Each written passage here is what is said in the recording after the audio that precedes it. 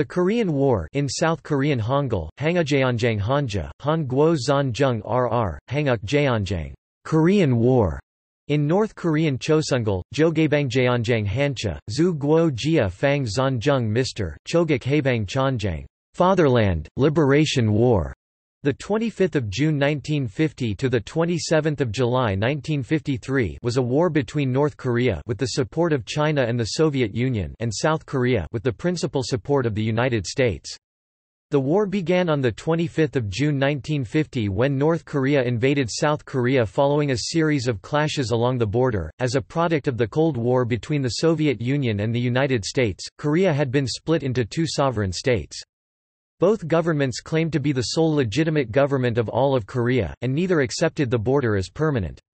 The conflict escalated into open warfare when North Korean forces—supported by the Soviet Union and China—moved into the south on 25 June 1950. The United Nations Security Council authorized the formation and dispatch of UN forces to Korea to repel what was recognized as a North Korean invasion.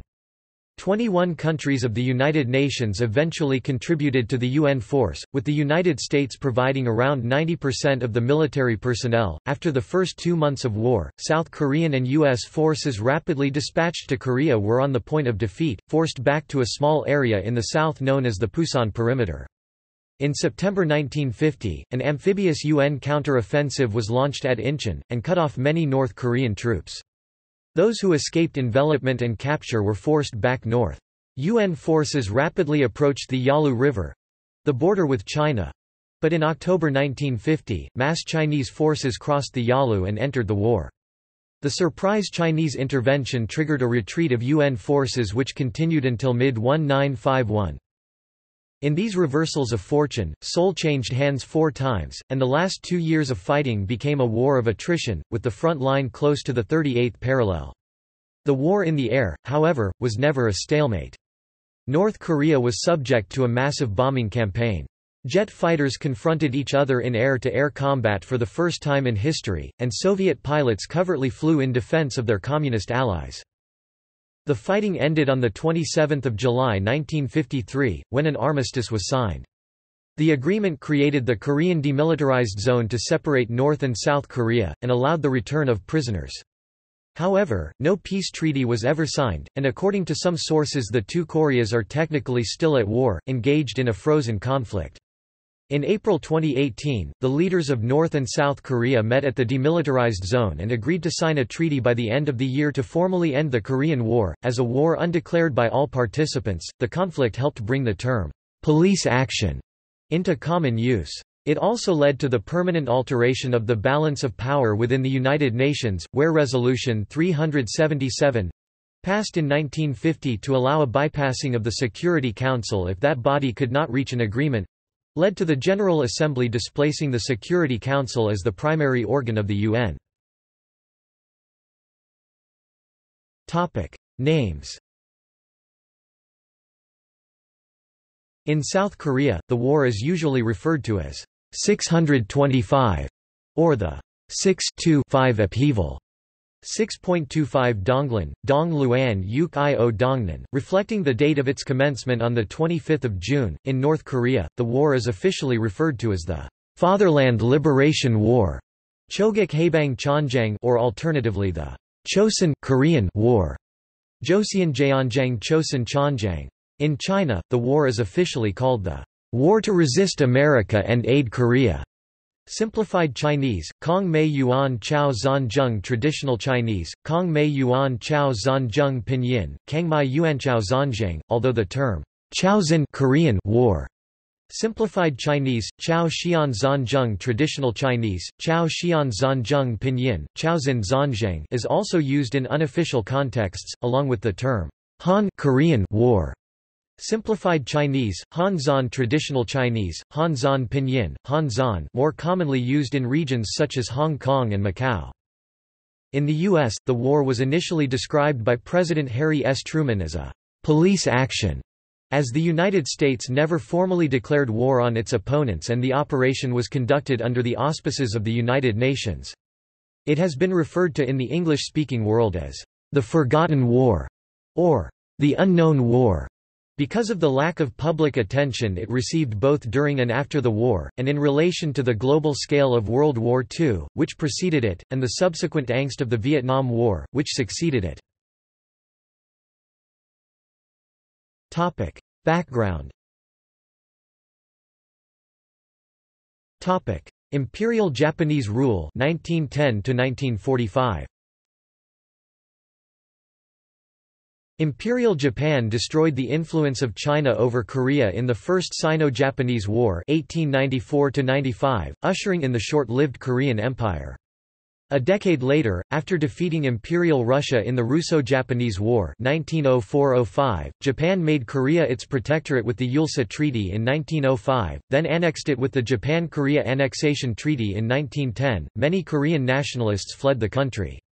A provisional government of the Republic of Korea was founded in 1919 in nationalist China. It failed to achieve international recognition, failed to unite nationalist groups, and had a fractious relationship with its U.S.-based founding president, Syngman Rhee.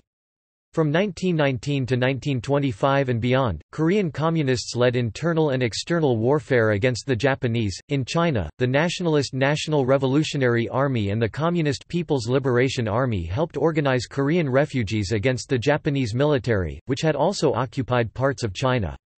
The nationalist-backed Koreans, led by Yi Pom Sok, fought in the Burma Campaign December 1941 to August 1945. The Communists, led by Kim Il-sung among others, fought the Japanese in Korea and Manchuria. At the Cairo Conference in November 1943, China, the United Kingdom, and the United States all decided that, "...in due course Korea shall become free and independent." Soviet-Japanese War 1945. At the Tehran Conference in November 1943 and the Yalta Conference in February 1945, the Soviet Union promised to join its allies in the Pacific War within three months of the victory in Europe. Accordingly, it declared war on Japan on 9 August 1945, three days after the USA dropped the bomb on Hiroshima. By 10 August, the Red Army had begun to occupy the northern part of the Korean peninsula. On the night of 10 August in Washington, U.S. Colonels Dean Rusk and Charles H. Bonesteel III were tasked with dividing the Korean peninsula into Soviet and U.S. occupation zones and proposed the 38th parallel. This was incorporated into the U.S. General Order No. 1 which responded to the Japanese surrender on 15 August. Explaining the choice of the 38th parallel, Rusk observed, even though it was further north than could be realistically reached by U.S. forces, in the event of Soviet disagreement, we felt it important to include the capital of Korea in the area of responsibility of American troops." He noted that he was faced with the scarcity of U.S. forces immediately available, and time and space factors, which would make it difficult to reach very far north, before Soviet troops could enter the area. As Rusk's comments indicate, the U.S. doubted whether the Soviet government would agree to this. Stalin, however, maintained his wartime policy of cooperation, and on 16 August the Red Army halted at the 38th parallel for three weeks to await the arrival of U.S. forces in the south. Korea divided 1945 -1949. On 8 September 1945, U.S. Lieutenant General John R. Hodge arrived in Incheon to accept the Japanese surrender south of the 38th parallel. Appointed as military governor, Hodge directly controlled South Korea as head of the United States Army Military Government in Korea USAMGIK 1945-48. He attempted to establish control by restoring Japanese colonial administrators to power, but in the face of Korean protests quickly reversed this decision. The USAMGIK refused to recognize the Provisional Government of the Short-Lived People's Republic of Korea (PRK) due to its suspected communist sympathies. In December 1945, Korea was administered by a U.S.-Soviet Union Joint Commission, as agreed at the Moscow Conference, with the aim of granting independence after a five-year trusteeship. The idea was not popular among Koreans and riots broke out. To contain them, the USAMGIK banned strikes on 8 December 1945 and outlawed the PRK Revolutionary Government and the PRK People's Committees on 12 December 1945. Following further large-scale civilian unrest, the USAMGIK declared martial law. Citing the inability of the Joint Commission to make progress, the U.S. government decided to hold an election under United Nations auspices with the aim of creating an independent Korea. The Soviet authorities and the Korean Communists refused to cooperate on the grounds it would not be fair, and many South Korean politicians boycotted it. A general election was held in the South on 10 May 1948. North Korea held parliamentary elections three months later on 25 August. The resultant South Korean government promulgated a national political constitution on 17 July 1948, and elected Syngman Rhee as president on 20 July 1948. The Republic of Korea, South Korea was established on 15 August 1948. In the Soviet Korean zone of occupation, the Soviet Union established a communist government led by Kim Il-sung. The Soviet Union withdrew as agreed from Korea in 1948, and U.S. troops withdrew in 1949. Topic: Chinese Civil War 1945 to 1949. With the end of the war with Japan, the Chinese Civil War resumed in earnest between the Communists and Nationalists. While the Communists were struggling for supremacy in Manchuria, they were supported by the North Korean government with materiel and manpower. According to Chinese sources, the North Koreans donated 2,000 railway cars worth of supplies while thousands of Koreans served in the Chinese People's Liberation Army during the war. North Korea also provided the Chinese Communists in Manchuria with a safe refuge for non-combatants and communications with the rest of China. The North Korean contributions to the Chinese Communist victory were not forgotten after the creation of the People's Republic of China in 1949. As a token of gratitude, between 50,000 and 70,000 Korean veterans that served in the PLA were sent back along with their weapons, and they later played a significant role in the initial invasion of South Korea. China promised to support the North Koreans in the event of a war against South Korea. After the formation of the People's Republic of China in 1949, the Chinese government named the Western nations, led by the United States, as the biggest threat to its national security. Basing this judgment on China's century of humiliation beginning in the early 19th century, U.S. Support for the nationalists during the Chinese Civil War, and the ideological struggles between revolutionaries and reactionaries, the Chinese leadership believed that China would become a critical battleground in the United States' crusade against communism.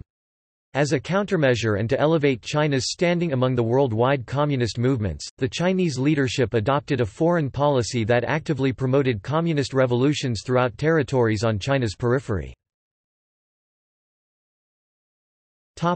Prelude to War 1950. By 1949, South Korean forces had reduced the active number of communist guerrillas in the south from 5,000 to 1,000. However, Kim Il-sung believed that the guerrillas weakened the South Korean military and that a North Korean invasion would be welcomed by much of the South Korean population. Kim began seeking Stalin's support for an invasion in March 1949, traveling to Moscow to attempt to persuade him. Serious border clashes between South and North occurred on 4 August 1949, when thousands of North Korean troops attacked South Korean troops occupying territory north of the 38th parallel. The 2nd and 18th Infantry Regiments of ROKA repulsed initial attacks in Kuksa above the 38th parallel and Shingmu, and at the end of the clashes ROKA troops were completely routed. Stalin initially did not think the time was right for a war in Korea. Chinese Communist forces were still embroiled in the Chinese Civil War, while U.S. forces remained stationed in South Korea. By spring 1950, he believed that the strategic situation had changed. Communist forces under Mao Zedong had secured final victory in China, U.S. forces had withdrawn from Korea, and the Soviets detonated their first nuclear bomb, breaking the U.S. atomic monopoly. As the U.S. had not directly intervened to stop the communist victory in China, Stalin calculated that they would be even less willing to fight in Korea, which had much less strategic significance. The Soviets had also cracked the codes used by the U.S. to communicate with their embassy in Moscow, and reading these dispatches convinced Stalin that Korea did not have the importance to the U.S. that would warrant a nuclear confrontation. Stalin began a more aggressive strategy in Asia based on these developments, including promising economic and military aid to China through the Sino Soviet Treaty of Friendship, Alliance, and Mutual Assistance. In April 1950, Stalin gave Kim permission to invade the South under the condition that Mao would agree to send reinforcements if needed.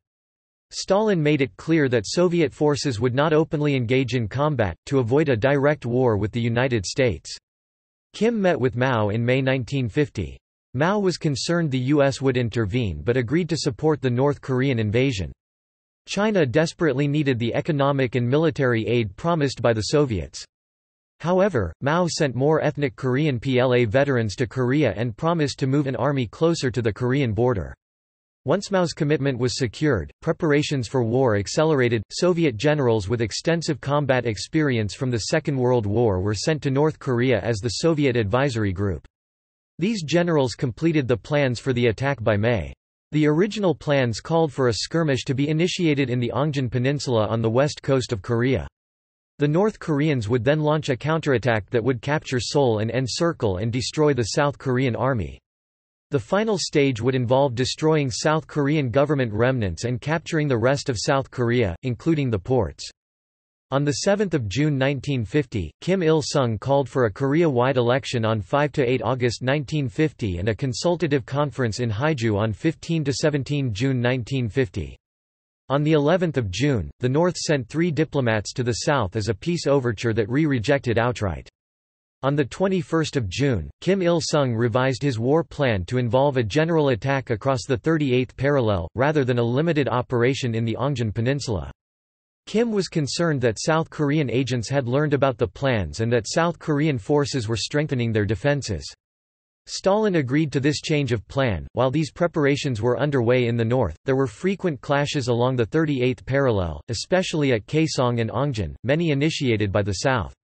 The Republic of Korea Army, ROK Army was being trained by the U.S. Korean Military Advisory Group KMAG. On the eve of war, KMAG Commander General William Lynn Roberts voiced utmost confidence in the ROK Army and boasted that any North Korean invasion would merely provide target practice.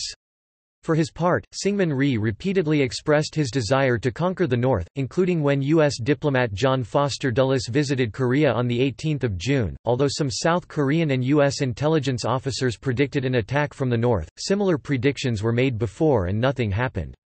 The Central Intelligence Agency noted the southward movement by the Korean People's Army KPA, but assessed this as a defensive measure and concluded an invasion was unlikely. On 23 June, UN observers inspected the border and did not detect that war was imminent. Comparison of forces Throughout 1949 and 1950, the Soviets continued arming North Korea. After the Communist victory in the Chinese Civil War, ethnic Korean units in the Chinese People's Liberation Army were released to North Korea.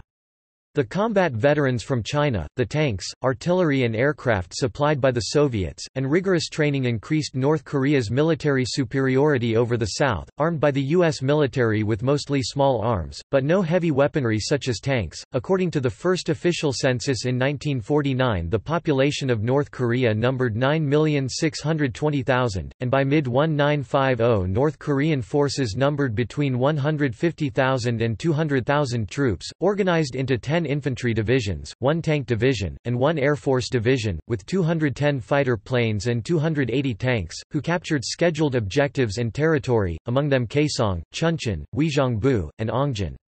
Their forces included 274 T-34-85 tanks, 200 artillery pieces, 110 attack bombers, and some 150 Yak fighter planes, and 35 reconnaissance aircraft.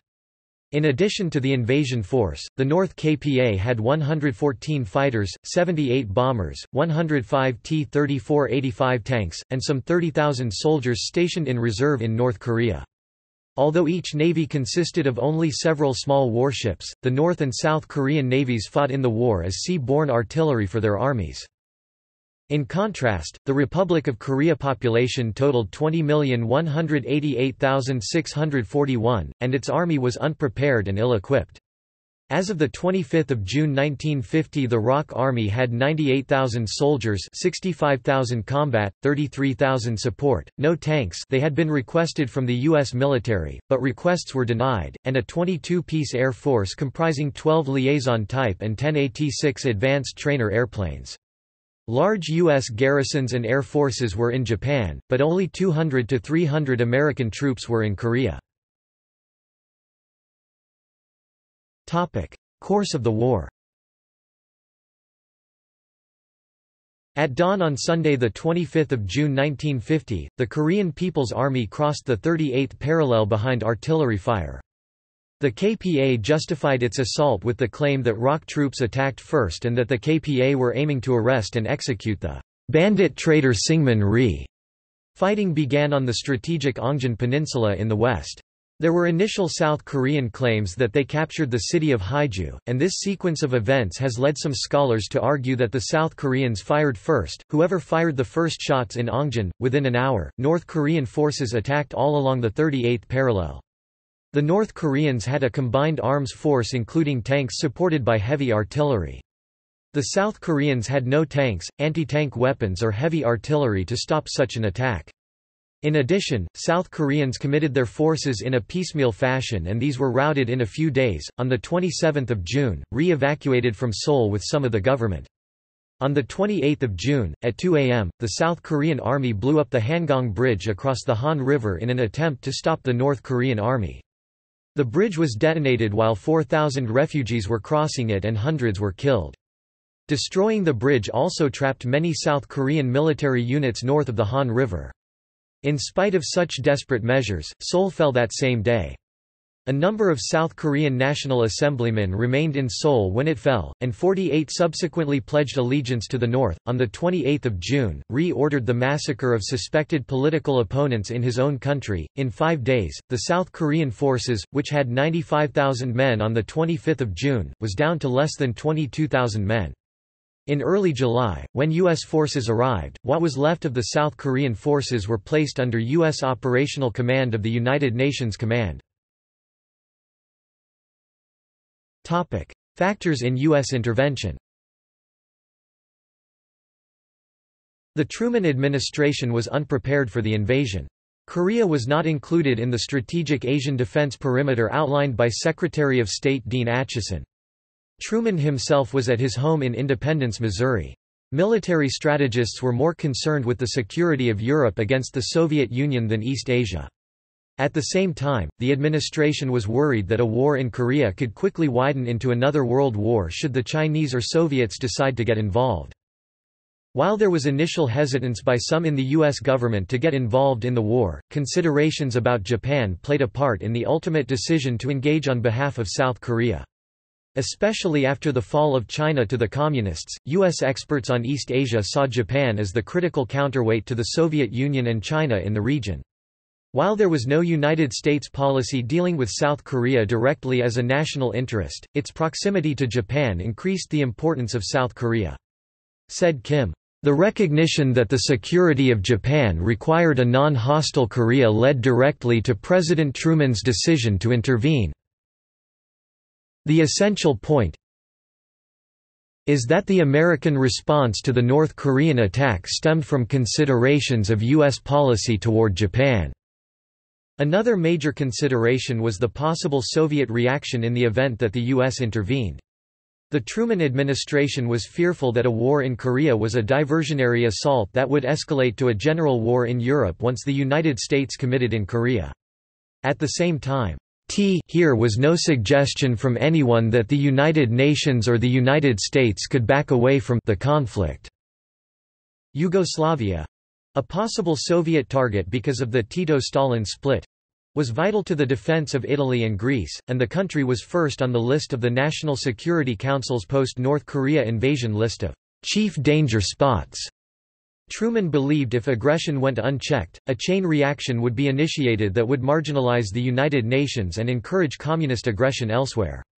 The UN Security Council approved the use of force to help the South Koreans, and the U.S. immediately began using what air and naval forces that were in the area to that end. The Truman administration still refrained from committing on the ground because some advisers believed the North Koreans could be stopped by air and naval power alone. The Truman administration was still uncertain if the attack was a ploy by the Soviet Union or just a test of U.S. resolve. The decision to commit ground troops became viable when a communique was received on 27 June indicating the Soviet Union would not move against U.S. forces in Korea. The Truman administration now believed it could intervene in Korea without undermining its commitments elsewhere.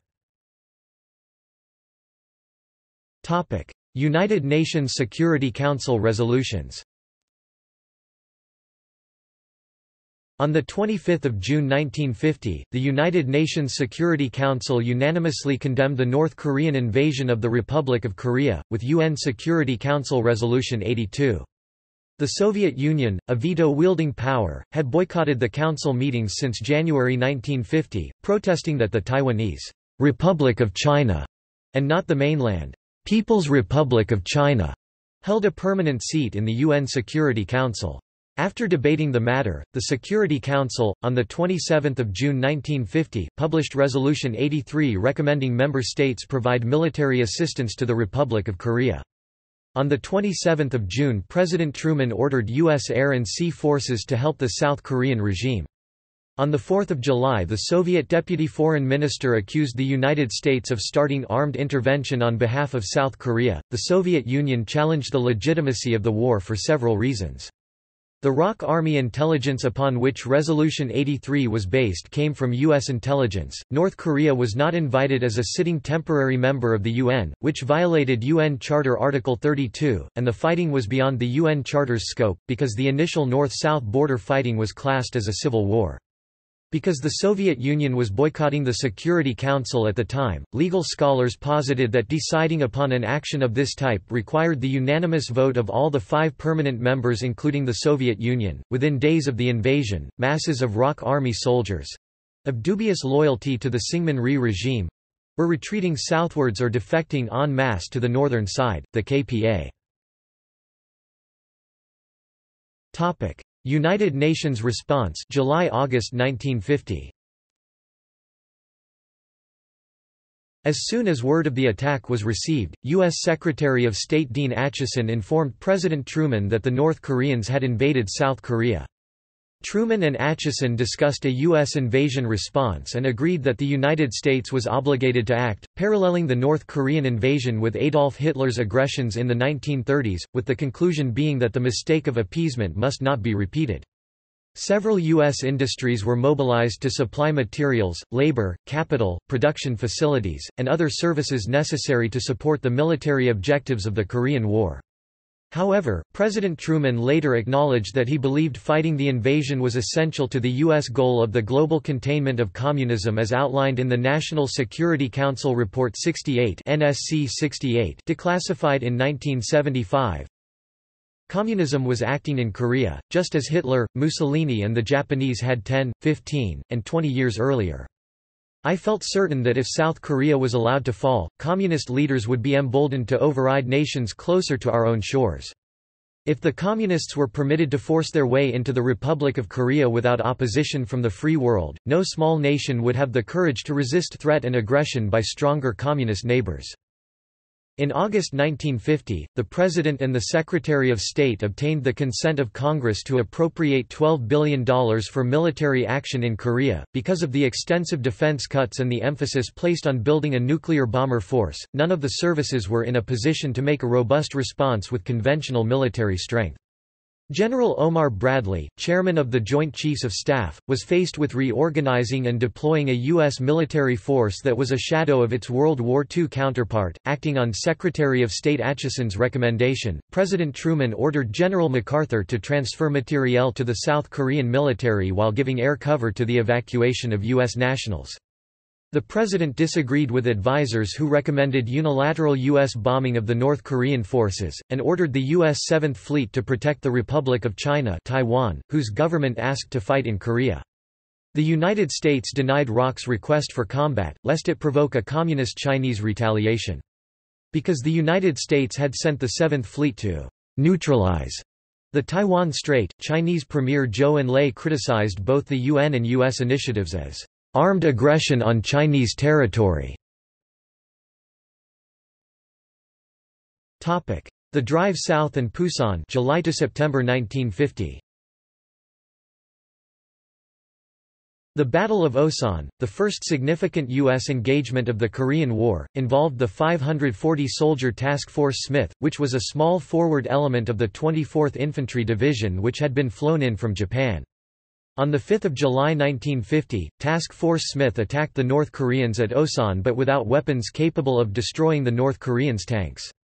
They were unsuccessful, the result was 180 dead, wounded, or taken prisoner. The KPA progressed southwards, pushing back the U.S. force at Pyeongtaek, Chonan, and Chochiwon, forcing the 24th Division's retreat to Taejon, which the KPA captured in the Battle of Taejon. The 24th Division suffered 3,602 dead and wounded and 2,962 captured, including its commander, Major General William F. Dean. By August, the KPA steadily pushed back the ROK Army and the 8th United States Army southwards. The impact of the Truman administration's defense budget cutbacks were now keenly felt, as U.S. troops fought a series of costly rearguard actions. Lacking sufficient anti-tank weapons, artillery or armor, they were driven down the Korean peninsula.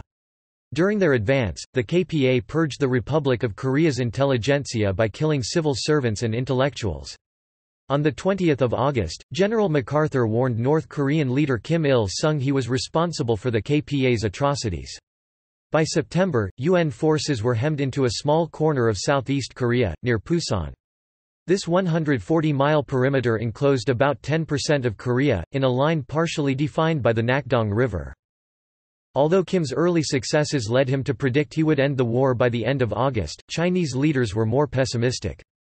To counter a possible U.S. deployment, Zhou Enlai secured a Soviet commitment to have the Soviet Union support Chinese forces with air cover, and deployed 260,000 soldiers along the Korean border, under the command of Gao Gang. Zhou commanded Chai Cheng-wen to conduct a topographical survey of Korea, and directed Lei Yingfu, Zhou's military advisor in Korea, to analyze the military situation in Korea. Lei concluded that MacArthur would most likely attempt a landing at Incheon.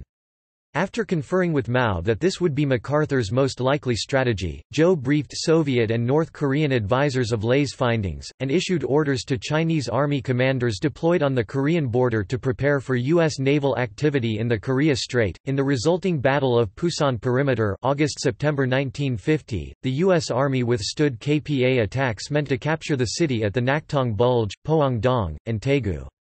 The United States Air Force USAF interrupted KPA logistics with 40 daily ground support sorties that destroyed 32 bridges, halting most daytime road and rail traffic. KPA forces were forced to hide in tunnels by day and move only at night. To deny materiel to the KPA, the USAF destroyed logistics depots, petroleum refineries, and harbors, while the U.S. Navy Air Forces attacked transport hubs. Consequently, the overextended KPA could not be supplied throughout the South. On 27 August 67 Th Fighter Squadron aircraft mistakenly attacked facilities in Chinese territory and the Soviet Union called the UN Security Council's attention to China's complaint about the incident. The U.S. proposed that a commission of India and Sweden determine what the U.S. should pay in compensation but the Soviets vetoed the U.S. proposal. Meanwhile, U.S. garrisons in Japan continually dispatched soldiers and materiel to reinforce defenders in the Pusan perimeter. Tank battalions deployed to Korea directly from the U.S. mainland from the port of San Francisco to the port of Pusan, the largest Korean port. By late August, the Pusan perimeter had some 500 medium tanks battle-ready. In early September 1950, ROK Army and UN command forces outnumbered the KPA 180,000 to 100,000 soldiers. Topic: Battle of Incheon, September 1950. Against the rested and re-armed Pusan perimeter defenders and their reinforcements, the KPA were undermanned and poorly supplied. Unlike the UN command, they lacked naval and air support. To relieve the Pusan perimeter, General MacArthur recommended an amphibious landing at Incheon, near Seoul and well over 160 kilometers 100 miles behind the KPA lines. On 6 July, he ordered Major General Hobart R. Gay, commander of the 1st Cavalry Division, to plan the division's amphibious landing at Incheon. On 12–14 July, the 1st Cavalry Division embarked from Yokohama, Japan, to reinforce the 24th Infantry Division inside the Pusan perimeter. Soon after the war began, General MacArthur began planning a landing at Incheon, but the Pentagon opposed him. When authorized, he activated a combined U.S. Army and Marine Corps, and ROK Army force. The 10th Corps, led by Major General Edward Almond, consisted of 40,000 men of the 1st Marine Division, the 7th Infantry Division and around 8,600 ROK Army soldiers. By 15 September, the amphibious assault force faced few KPA defenders at Incheon. Military intelligence, psychological warfare, guerrilla reconnaissance, and protracted bombardment facilitated a relatively light battle. However, the bombardment destroyed most of the city of Incheon. After the Incheon landing, the 1st Cavalry Division began its northward advance from the Pusan perimeter. Task Force Lynch after Lieutenant Colonel James H. Lynch, 3rd Battalion, 7th Cavalry Regiment, and two 70th Tank Battalion units Charlie Company and the Intelligence Reconnaissance Platoon effected the Pusan perimeter breakout through 171.2 kilometers (106.4 miles) of enemy territory to join the 7th Infantry Division at Osan. The 10th Corps rapidly defeated the KPA defenders around Seoul, thus threatening to trap the main KPA force in southern Korea. On 18 September, Stalin dispatched General H.M. Zakharov to Korea to advise Kim Il-sung to halt his offensive around the Pusan perimeter and to redeploy his forces to defend Seoul. Chinese commanders were not briefed on North Korean troop numbers or operational plans. As the overall commander of Chinese forces, Zhou Enlai suggested that the North Koreans should attempt to eliminate the enemy forces at Incheon only if they had reserves of at least 100,000 men, otherwise, he advised the North Koreans to withdraw their forces north. On 25 September, Seoul was recaptured by South Korean forces. U.S. air raids caused heavy damage to the KPA, destroying most of its tanks and much of its artillery. North Korean troops in the south, instead of effectively withdrawing north, rapidly disintegrated, leaving Pyongyang vulnerable. During the general retreat only 25,000 to 30,000 North Korean soldiers managed to reach the KPA lines. On 27 September, Stalin convened an emergency session of the Politburo, in which he condemned the incompetence of the KPA command and held Soviet military advisers responsible for the defeat. UN forces cross partition line September to October 1950 On 27 September, MacArthur received the top-secret National Security Council Memorandum 81 over 1 from Truman reminding him that operations north of the 38th parallel were authorized only if at the time of such operation there was no entry into North Korea by major Soviet or Chinese Communist forces, no announcements of intended entry, nor a threat to counter our operations militarily. On 29 September MacArthur restored the government of the Republic of Korea under Syngman Rhee. On 30 September, Defense Secretary George Marshall sent an eyes-only message to MacArthur. We want you to feel unhampered tactically and strategically to proceed north of the 38th parallel. During October, the ROK police executed people who were suspected to be sympathetic to North Korea, and similar massacres were carried out until early 1951. On 30 September, Zhou Enlai warned the United States that China was prepared to intervene in Korea if the United States crossed the 38th parallel. Zhou attempted to advise North Korean commanders on how to conduct a general withdrawal by using the same tactics that allowed Chinese Communist forces to successfully escape Chiang Kai-shek's encirclement campaigns in the 1930s, but by some accounts North Korean commanders did not use these tactics effectively. Historian Bruce Cumings argues, however, that the KPA's rapid withdrawal was strategic, with troops melting into the mountains from where they could launch guerrilla raids on the UN forces spread out on the coasts. By 1 October 1950, the UN command repelled the KPA northwards past the 38th parallel, the ROK Army crossed after them, into North Korea. MacArthur made a statement demanding the KPA's unconditional surrender. Six days later, on 7 October, with UN authorization, the UN command forces followed the ROK forces northwards. The 10th Corps landed at Wonsan in southeastern North Korea and Riwon in northeastern North Korea, already captured by ROK forces. The 8th U.S. Army and the ROK Army drove up western Korea and captured Pyongyang City, the North Korean capital, on 19 October 1950. The 187th Airborne Regimental Combat Team made their first of two combat jumps during the Korean War on 20 October 1950 at Suncheon and Sukchon. The missions of the 187th were to cut the road north going to China, preventing North Korean leaders from escaping from Pyongyang, and to rescue U.S. prisoners of war. At month's end, UN forces held 135,000 KPA prisoners of war. As they neared the Sino-Korean border, the UN forces in the west were divided from those in the east by 50 to 100 miles of mountainous terrain. Taking advantage of the UN command's strategic momentum against the Communists, General MacArthur believed it necessary to extend the Korean War into China to destroy depots supplying the North Korean war effort. President Truman disagreed, and ordered caution at the Sino-Korean border. China intervenes October to December 1950. On 20 August 1950, Premier Zhou Enlai informed the UN that, "...Korea is China's neighbor. The Chinese people cannot but be concerned about a solution of the Korean question." Thus, through neutral country diplomats, China warned that in safeguarding Chinese national security, they would intervene against the UN command in Korea.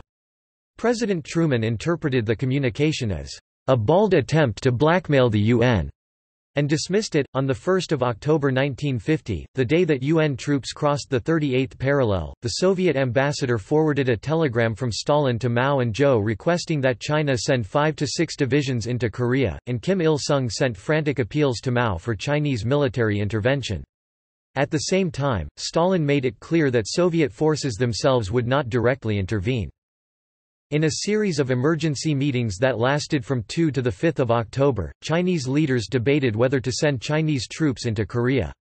There was considerable resistance among many leaders, including senior military leaders, to confronting the U.S. in Korea. Mao strongly supported intervention, and Zhou was one of the few Chinese leaders who firmly supported him. After Lin Biao politely refused Mao's offer to command Chinese forces in Korea citing his upcoming medical treatment, Mao decided that Peng Dehuai would be the commander of the Chinese forces in Korea after Peng agreed to support Mao's position. Mao then asked Peng to speak in favor of intervention to the rest of the Chinese leaders. After Peng made the case that if U.S. troops conquered Korea and reached the Yalu they might cross it and invade China the Politburo agreed to intervene in Korea. On 4 August 1950, with a planned invasion of Taiwan aborted due to the heavy U.S. naval presence, Mao reported to the Politburo that he would intervene in Korea when the People's Liberation Army's PLA Taiwan Invasion Force was reorganized into the PLA Northeast Frontier Force. On 8 October 1950, Mao redesignated the PLA Northeast Frontier Force as the Chinese People's Volunteer Army PVA, to enlist Stalin's support. Zhou and a Chinese delegation arrived in Moscow on 10 October, at which point they flew to Stalin's home at the Black Sea. There they conferred with the top Soviet leadership, which included Joseph Stalin as well as Vyacheslav Molotov, Lavrentiy Beria and Georgy Malenkov. Stalin initially agreed to send military equipment and ammunition, but warned Zhou that the Soviet Union's air force would need two or three months to prepare any operations. In a subsequent meeting, Stalin told Zhou that he would only provide China with equipment on a credit basis, and that the Soviet Air Force would only operate over Chinese airspace, and only after an undisclosed period of time. Stalin did not agree to send either military equipment or air support until March 1951. Mao did not find Soviet air support especially useful, as the fighting was going to take place on the south side of the Yalu. Soviet shipments of materiel, when they did arrive, were limited to small quantities of trucks, grenades, machine guns, and the like. Immediately on his return to Beijing on 18 October 1950, Zhou met with Mao Zedong, Peng Dehuai, and Gao Gang, and the group ordered 200,000 Chinese troops to enter North Korea, which they did on 25 October. UN aerial reconnaissance had difficulty sighting PVA units in daytime, because their march and bivouac discipline minimized aerial detection. The PVA marched dark to dark 1900 to 3 o'clock, and aerial camouflage concealing soldiers, pack animals, and equipment was deployed by 5.30. Meanwhile, daylight advance parties scouted for the next bivouac site. During daylight activity or marching, soldiers were to remain motionless if an aircraft appeared, until it flew away. PVA officers were under order to shoot security violators. Such battlefield discipline allowed a three-division army to march the 460 kilometers (286 miles) from Antung, Manchuria, to the combat zone in some 19 days. Another division night marched a circuitous mountain route, averaging 29 kilometers 18 miles daily for 18 days. Meanwhile, on the 15th of October 1950, President Truman and General MacArthur met at Wake Island in the mid-Pacific Ocean. This meeting was much publicized because of the general's discourteous refusal to meet the president on the continental United States. To President Truman, MacArthur speculated there was little risk of Chinese intervention in Korea, and that the PRC's opportunity for aiding the KPA had lapsed. He believed the PRC had some 300,000 soldiers in Manchuria, and some 100,000 to 125,000 soldiers at the Yalu River. He further concluded that, although half of those forces might cross south, if the Chinese tried to get down to Pyongyang, there would be the greatest slaughter, without Air Force protection. After secretly crossing the Yalu River on 19 October, the PVA 13th Army Group launched the first phase offensive on 25 October, attacking the advancing UN forces near the Sino-Korean border. This military decision made solely by China changed the attitude of the Soviet Union. Twelve days after Chinese troops entered the war, Stalin allowed the Soviet Air Force to provide air cover, and supported more aid to China. After inflicting heavy losses on the ROK Second Corps at the Battle of Onjong, the first confrontation between Chinese and U.S. military occurred on 1 November 1950. Deep in North Korea, thousands of soldiers from the PVA 39th Army encircled and attacked the U.S. 8th Cavalry Regiment with three-prong assaults—from the north, northwest, and west—and overran the defensive position flanks in the Battle of Unsan. The surprise assault resulted in the UN forces retreating back to the Ch'ongch'on River, while the Chinese unexpectedly disappeared into mountain hideouts following victory. It is unclear why the Chinese did not press the attack and follow up their victory. The UN command, however, were unconvinced that the Chinese had openly intervened because of the sudden Chinese withdrawal. On 24 November, the Home by Christmas offensive was launched with the U.S. 8th Army advancing in northwest Korea, while the U.S. 10th Corps attacked along the Korean east coast. But the PVA were waiting in ambush with their second phase offensive, which they executed at two sectors, in the east at the Chosin Reservoir and in the western sector at Ch'ongch'on River. After consulting with Stalin, on 13 November, Mao appointed Zhou Enlai the overall commander and coordinator of the war effort, with Peng as field commander. On 25 November at the Korean Western Front, the PVA 13th Army Group attacked and overran the ROK Second Corps at the Battle of the Ch'ongch'on River, and then inflicted heavy losses on the U.S. 2nd Infantry Division on the UN FOS's right flank. The UN command retreated. The U.S. 8th Army's retreat, the longest in U.S. Army history, was made possible because of the Turkish brigade's successful, but very costly, rear guard delaying action near Kunu-ri that slowed the PVA attack for two days 27 to 29 November. By 30 November, the PVA 13th Army Group managed to expel the U.S. 8th Army from northwest Korea. Retreating from the north faster than they had counter-invaded, the Eighth Army crossed the 38th parallel border in mid-December. UN morale hit rock bottom when Lieutenant General Walton Walker, commander of the U.S. Eighth Army, was killed on 23 December 1950 in an automobile accident. Concurrent with the Battle of the Ch'ongch'on River was the Battle of Chosin Reservoir, which the PVA 9th Army Group initiated on 27 November. Here the UNC forces fared comparatively better, like the 8th Army the surprise attack also forced 10th Corps to retreat from northeast Korea, but they were in the process able to break out from the attempted encirclement by the PVA and execute a successful tactical withdrawal. 10th Corps managed to establish a defensive perimeter at the port city of Hungnam on the 11th of December and were able to evacuate by the 24th of December in order to reinforce the badly depleted U.S. 8th Army to the south. During the Hungnam evacuation, about 193 shiploads of UN command forces and materiel approximately 105,000 soldiers, 98,000 civilians, 17,500 vehicles, and 350,000 tons of supplies were evacuated to Pusan. The SS Meredith Victory was noted for evacuating 14,000 refugees, the largest rescue operation by a single ship, even though it was designed to hold 12 passengers. Before escaping, the UN command forces razed most of Hungnam City, especially the port facilities.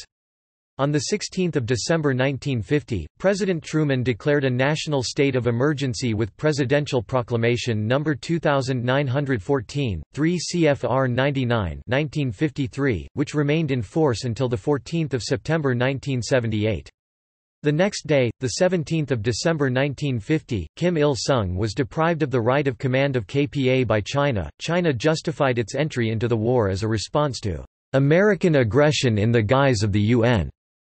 Later, the Chinese claimed that U.S. bombers had violated PRC national airspace on three separate occasions and attacked Chinese targets before China intervened. Fighting around the 38th parallel January to June 1951. With Lieutenant General Matthew Ridgway assuming the command of the U.S. Eighth Army on 26 December, the PVA and the KPA launched their third phase offensive also known as the Chinese New Year's Offensive on New Year's Eve of 1950–51. Utilizing night attacks in which UN command fighting positions were encircled and then assaulted by numerically superior troops who had the element of surprise, the attacks were accompanied by loud trumpets and gongs, which fulfilled the double purpose of facilitating tactical communication and mentally disorienting the enemy. UN forces initially had no familiarity with this tactic, and as a result some soldiers panicked, abandoning their weapons and retreating to the south. The Chinese New Year's offensive overwhelmed UN forces, allowing the PVA and KPA to conquer Seoul for the second time on 4 January 1951. These setbacks prompted General MacArthur to consider using nuclear weapons against the Chinese or North Korean interiors, with the intention that radioactive fallout zones would interrupt the Chinese supply chains. However, upon the arrival of the charismatic General Ridgway, the esprit de corps of the bloodied Eighth Army immediately began to revive. UN forces retreated to Suwon in the west, Wonju in the center, and the territory north of Samcheok in the east, where the battlefront stabilized and held. The PVA had outrun its logistics capability and thus were unable to press on beyond Seoul as food, ammunition, and materiel were carried nightly, on foot and bicycle, from the border at the Yalu River to the three battle lines. In late January, upon finding that the PVA had abandoned their battle lines, General Ridgway ordered a reconnaissance in force, which became Operation Roundup the 5th of February 1951. A full-scale 10th Corps advance proceeded, which fully exploited the UN command's air superiority, concluding with the UN reaching the Han River and recapturing Wonju. Following the failure of ceasefire negotiations in January, the United Nations General Assembly passed Resolution 498 on 1 February, condemning PRC as an aggressor, and called upon its forces to withdraw from Korea. In early February, the South Korean 11th Division ran the operation to destroy the guerrillas and their sympathizer citizens in southern Korea. During the operation, the division and police conducted the Geochang massacre and Sancheong Hamyang massacre. In mid-February, the PVA counterattacked with the fourth phase offensive and achieved initial victory at Hoengseong. But the offensive was soon blunted by the 9th Corps positions at Chipyeong-ni in the center. The U.S. 2nd Infantry Warrior Division's 23rd Regimental Combat Team and the French battalion fought a short but desperate battle that broke the attack's momentum. The battle is sometimes known as the Gettysburg of the Korean War. 5,600 South Korean, U.S., and French troops were surrounded on all sides by 25,000 Chinese. United Nations forces had previously retreated in the face of large communist forces instead of getting cut off, but this time they stood and fought, and won. In the last two weeks of February 1951, Operation Roundup was followed by Operation Killer, carried out by the revitalized Eighth Army. It was a full-scale, battlefront-length attack staged for maximum exploitation of firepower to kill as many KPA and PVA troops as possible. Operation Killer concluded with 1st Corps reoccupying the territory south of the Han River, and 9th Corps capturing Hoengseong. On 7 March 1951, the Eighth Army attacked with Operation Ripper, expelling the PVA and the KPA from Seoul on 14 March 1951. This was the fourth conquest of the city in a year's time, leaving it a ruin. The 1.5 million pre-war population was down to 200,000, and people were suffering from severe food shortages. On the 1st of March 1951, Mao sent a cable to Stalin emphasizing the difficulties faced by Chinese forces and the need for air cover, especially over supply lines. Apparently impressed by the Chinese war effort, Stalin agreed to supply two Air Force divisions, three anti-aircraft divisions, and 6,000 trucks. PVA troops in Korea continued to suffer severe logistical problems throughout the war. In late April Peng Dehuai sent his deputy, Hong Xuezhi, to brief Zhou Enlai in Beijing. What Chinese soldiers feared, Hong said, was not the enemy, but having no food, bullets, or trucks to transport them to the rear when they were wounded. Zhou attempted to respond to the PVA's logistical concerns by increasing Chinese production and improving supply methods, but these efforts were never sufficient. At the same time, large-scale air defense training programs were carried out, and the Chinese Air Force began participating in the war from September 1951 onward. On the 11th of April 1951, Commander-in-Chief Truman relieved the controversial General MacArthur, the supreme commander in Korea. There were several reasons for the dismissal. MacArthur crossed the 38th parallel in the mistaken belief that the Chinese would not enter the war, leading to major Allied losses. He believed that whether to use nuclear weapons should be his decision, not the president's. MacArthur threatened to destroy China unless it surrendered. While MacArthur felt total victory was the only honorable outcome, Truman was more pessimistic about his chances once involved in a land war in Asia, and felt a truce and orderly withdrawal from Korea could be a valid solution. MacArthur was the subject of congressional hearings in May and June 1951, which determined that he had defied the orders of the President and thus had violated the U.S. Constitution. A popular criticism of MacArthur was that he never spent a night in Korea, and directed the war from the safety of Tokyo. MacArthur was relieved primarily due to his determination to expand the war into China, which other officials believed would needlessly escalate a limited war and consume too many already overstretched resources. Despite MacArthur's claims that he was restricted to fighting a limited war when China was fighting all out, congressional testimony revealed China was using restraint as much as the U.S. was, as they were not using air power against frontline troops, communication lines, ports, naval air forces, or staging bases in Japan, which had been crucial to the survival of UN forces in Korea. Simply fighting on the peninsula had already tied down significant portions of U.S. airpower, as Air Force Chief of Staff Hoyt Vandenberg said, 80 to 85% the tactical capacity, one-fourth of the strategic portion, and 20% of air defense forces of the United States were engaged in a single country. There was also fear that crossing into China would provoke the Soviet Union into entering the war. General Omar Bradley testified that there were 35 Russian divisions totaling some 500,000 troops in the Far East, and if sent into action with the approximately 85 Russian submarines in the vicinity of Korea, they could overwhelm U.S. forces and cut supply lines, as well as potentially assist China in taking over territory in Southeast Asia. General Ridgway was appointed Supreme Commander in Korea, and he regrouped the UN forces for successful counterattacks, while General James Van Fleet assumed command of the U.S. Eighth Army. Further attacks slowly depleted the PVA and KPA forces. Operations Courageous, 23 to 28 March 1951, and Tomahawk, the 23rd of March 1951, were a joint ground and airborne infiltration meant to trap Chinese forces between Kaesong and Seoul. UN forces advanced to Line Kansas, north of the 38th parallel. The second of two combat jumps by the 187th Airborne Regimental Combat Team, Rakkasans, was on Easter Sunday 1951, at Munsan Ni, South Korea, codenamed Operation Tomahawk. The mission was to get behind Chinese forces and block their movement north. The 60th Indian Parachute Field Ambulance provided medical cover for the operations, dropping an ADS and a surgical team and treating over 400 battle casualties, apart from the civilian casualties that formed the core of their objective as the unit was on a humanitarian mission. The Chinese counterattacked in April 1951, with the Fifth Phase Offensive, also known as the Chinese Spring Offensive, with three field armies approximately 700,000 men.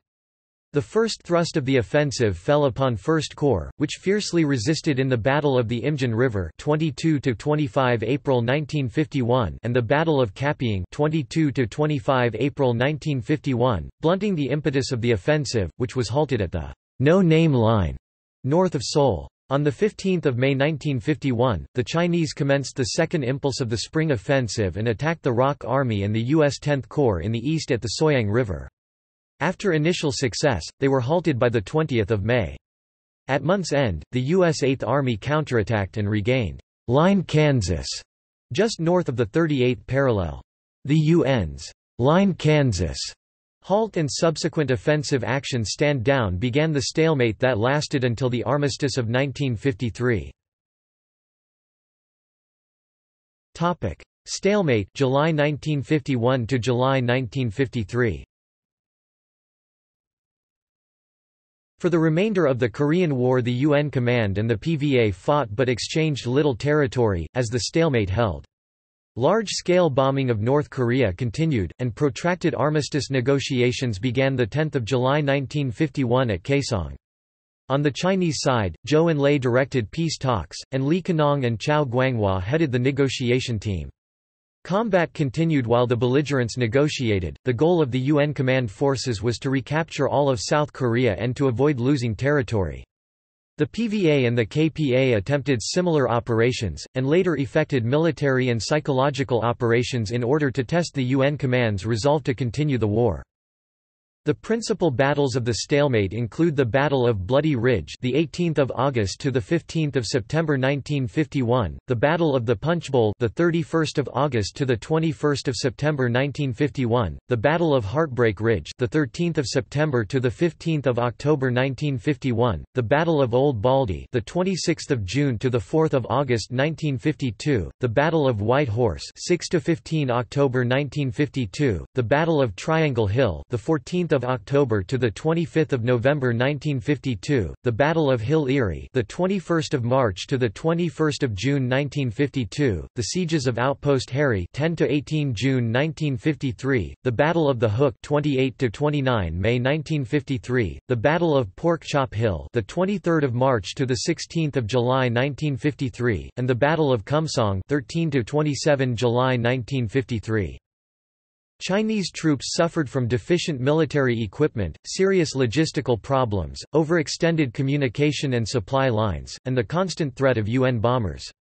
All of these factors generally led to a rate of Chinese casualties that was far greater than the casualties suffered by UN troops. The situation became so serious that, in November 1951, Zhou Enlai called a conference in Shenyang to discuss the PVA's logistical problems. At the meeting it was decided to accelerate the construction of railways and airfields in the area, to increase the number of trucks available to the army, and to improve air defense by any means possible. These commitments did little to directly address the problems confronting PVA troops. In the months after the Shenyang conference Peng Dehuai went to Beijing several times to brief Mao and Zhou about the heavy casualties suffered by Chinese troops and the increasing difficulty of keeping the front lines supplied with basic necessities. Peng was convinced that the war would be protracted, and that neither side would be able to achieve victory in the near future. On 24 February 1952, the Military Commission, presided over by Zhou, discussed the PVA's logistical problems with members of various government agencies involved in the war effort. After the government representatives emphasized their inability to meet the demands of the war, Peng, in an angry outburst, shouted, "'You have this and that problem. You should go to the front and see with your own eyes what food and clothing the soldiers have. Not to speak of the casualties. For what are they giving their lives? We have no aircraft. We have only a few guns. Transports are not protected. More and more soldiers are dying of starvation. Can't you overcome some of your difficulties? The atmosphere became so tense that Zhou was forced to adjourn the conference.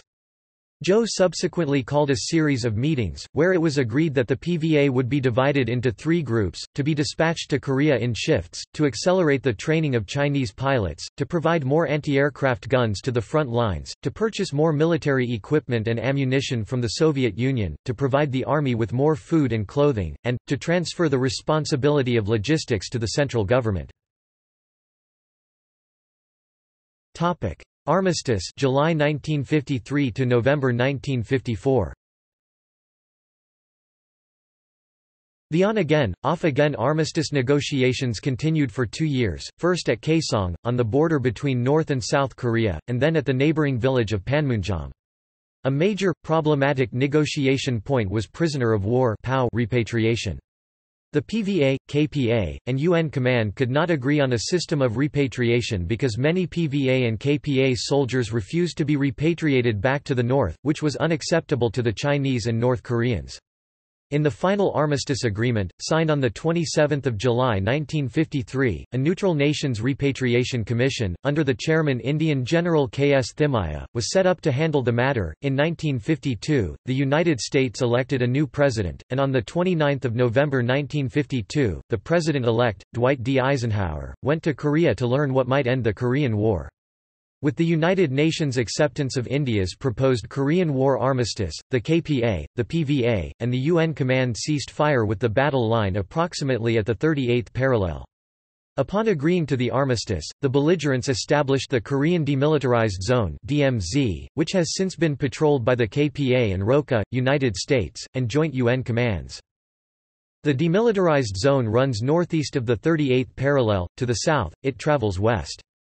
The old Korean capital city of Kaesong, site of the armistice negotiations, originally was in pre-war South Korea, but now is part of North Korea. The United Nations Command, supported by the United States, the North Korean People's Army, and the Chinese People's Volunteers, signed the armistice agreement on 27 July 1953 to end the fighting. The armistice also called upon the governments of South Korea, North Korea, China and the United States to participate in continued peace talks. The war is considered to have ended at this point, even though there was no peace treaty. North Korea nevertheless claims that it won the Korean War. After the war, Operation Glory was conducted from July to November 1954, to allow combatant countries to exchange their dead. The remains of 4,167 U.S. Army and U.S. Marine Corps dead were exchanged for 13,528 KPA and PVA dead, and 546 civilians dead in UN prisoner of war camps were delivered to the South Korean government. After Operation Glory, 416 Korean War unknown soldiers were buried in the National Memorial Cemetery of the Pacific the Punch Bowl, on the island of Oahu, Hawaii. Defense Prisoner of War – Missing Personnel Office DPMO records indicate that the PRC and the DPRK transmitted 1,394 names, of which 858 were correct. From 4,167 containers of returned remains, forensic examination identified 4,219 individuals. Of these, 2,944 were identified as from the U.S., and all but 416 were identified by name. From 1996 to 2006, the DPRK recovered 220 remains near the Sino-Korean border. Topic: Division of Korea 1954 present. The Korean Armistice Agreement provided for monitoring by an international commission. Since 1953, the Neutral Nations Supervisory Commission NNSC, composed of members from the Swiss and Swedish armed forces, has been stationed near the DMZ. In April 1975, South Vietnam's capital was captured by the North Vietnamese Army. Encouraged by the success of Communist revolution in Indochina, Kim Il-sung saw it as an opportunity to invade the South. Kim visited China in April of that year, and met with Mao Zedong and Zhou Enlai to ask for military aid. Despite Pyongyang's expectations, however, Beijing refused to help North Korea for another war in Korea. Since the armistice, there have been numerous incursions and acts of aggression by North Korea. In 1976, the axe murder incident was widely publicized. Since 1974, four incursion tunnels leading to Seoul have been uncovered. In 2010, a North Korean submarine torpedoed and sank the South Korean corvette ROKS Cheonan, resulting in the deaths of 46 sailors. Again in 2010, North Korea fired artillery shells on Yeonpyeong Island, killing two military personnel and two civilians. After a new wave of UN sanctions, on the 11th of March 2013, North Korea claimed that the armistice had become invalid. On 13 March 2013, North Korea confirmed it ended the 1953 armistice and declared North Korea is not restrained by the North-South Declaration on Non-Aggression. On 30 March 2013, North Korea stated that it entered a state of war with South Korea and declared that the long-standing situation of the Korean peninsula being neither at peace nor at war is finally over." Speaking on 4 April 2013, the U.S. Secretary of Defense, Chuck Hagel, informed the press that Pyongyang formally informed the Pentagon that it ratified the potential use of a nuclear weapon against South Korea, Japan and the United States of America, including Guam and Hawaii. Hagel also stated the United States would deploy the Terminal High Altitude Area Defense Anti-Ballistic Missile System to Guam, because of a credible and realistic nuclear threat from North Korea. In 2016, it was revealed that North Korea approached the United States about conducting formal peace talks to formally end the war. While the White House agreed to secret peace talks, the plan was rejected due to North Korea's refusal to discuss nuclear disarmament as part of the terms of the treaty. On the 27th of April 2018, it was announced that North Korea and South Korea agreed to talks to end the ongoing 65-year conflict. They committed themselves to the complete denuclearization of the Korean peninsula. Topic: Characteristics Casualties According to the data from the U.S. Department of Defense, the United States suffered 33,686 battle deaths, along with 2,830 non-battle deaths, during the Korean War.